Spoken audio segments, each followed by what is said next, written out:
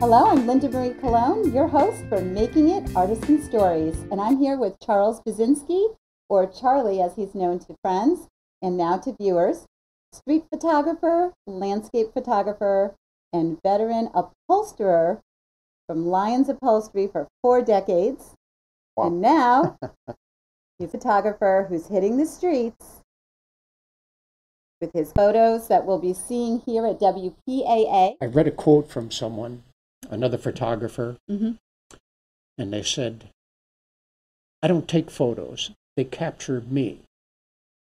And that that sums up my, my whole feeling Mhm. that every time I see something like this, it, it captures me.